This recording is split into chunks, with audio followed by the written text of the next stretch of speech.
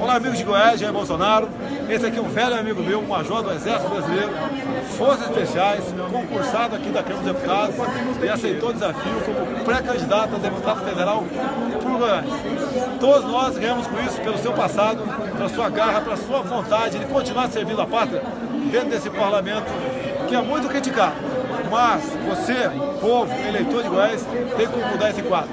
Boa sorte para ele, Deus proteja todos nós e que votemos com muita consciência por ocasião das eleições do corrente ano.